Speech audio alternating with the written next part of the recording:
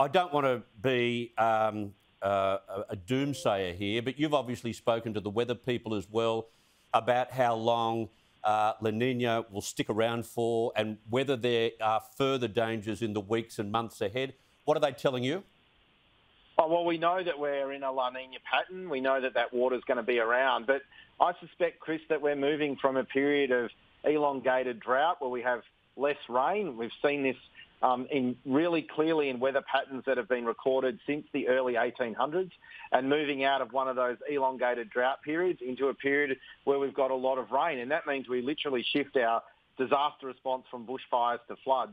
The big challenge is that people who live in Western Sydney don't actually have a lot of experience of managing and dealing with floods as adults because we haven't seen floods of this level since the late 80s and early 1990s.